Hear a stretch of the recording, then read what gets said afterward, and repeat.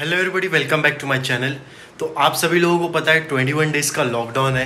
इसके लिए मैंने कार रिव्यू स्टार्ट किया हूँ। दो वीडियो ऑलरेडी मैंने बना चुका हूँ हिंडाई एसेंट और Maruti Suzuki Swift Dzire car पे। अगर अभी तक आपने वो वीडियो नहीं देखी तो डिस्क्रिप्शन में लिंक मेंशन है।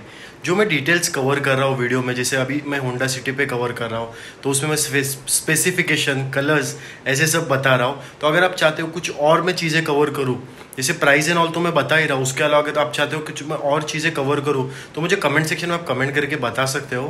तो मैं ट्राई करूँगा, वो भी चीज़ ऐड करूँ। होंडा सिटी करेंटली बस पेट्रोल में ही अवेलेबल है। डीजल का मॉडल आई थिंक सो एक से दो महीने में अवेलेबल हो जाएगा।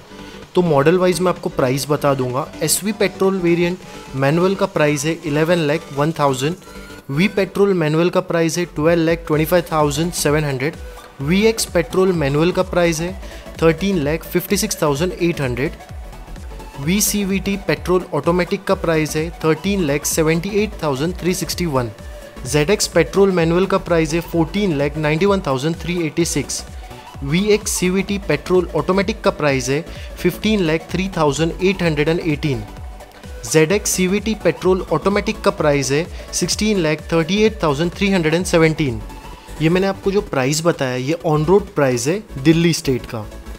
अगर हम माइलेज की बात करते तो पेट्रोल मैनुअल में माइलेज मिलेगा आपको 17 का और पेट्रोल ऑटोमेटिक में माइलेज मिलेगा 18 का as per A R A आई अगर हम इंजन की बात करेंगे तो 1497 सीसी का इंजन है इसके अंदर आपको 117 बीएच पावर मिलेगा और 145 एनएम ऑफ़ टॉक अगर हम सेफ्टी वाइज बात करते हैं तो ये कार में आपको दिया जाएगा seat belt warning airbags dual stage airbag उसके अलावा आपको दिया जाएगा middle rail three point seat belt tyre pressure monitoring system.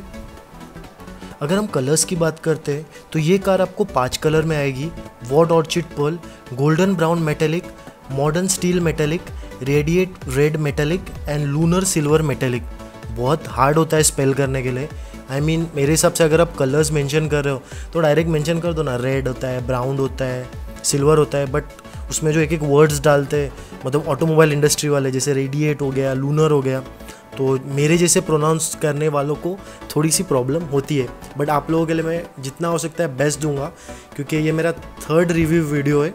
तो जितना हो सकता है मैं, मेरा बेस्ट देते जाऊँगा, क्योंकि इंग्लिश में थोड़ा मैं इतना अच्छा नहीं हूँ। बट मैं ट्राई कर रहा हूँ, जितना हो सकता है बेस्ट दूँ।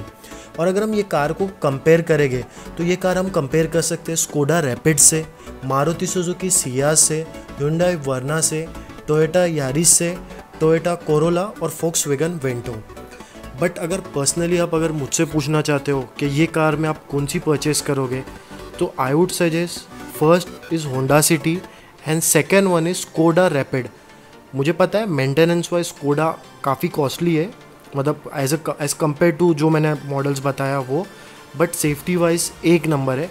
But at the same point we are talking about Honda City तो Honda City is also best car maintenance wise भी काफ़ी अच्छी है और अगर आप चाहते हो कि मेंटेनेंस की रिगार्डिंग भी मैं अलग से वीडियो बनाऊँ, हर एक मॉडल्स हर एक ब्रांड्स के तो मुझे आप कमेंट सेक्शन में कमेंट करके बता सकते हो। फिर मैं ट्राई करूँगा, आप लोगों के हिसाब से वीडियो बनाऊँ।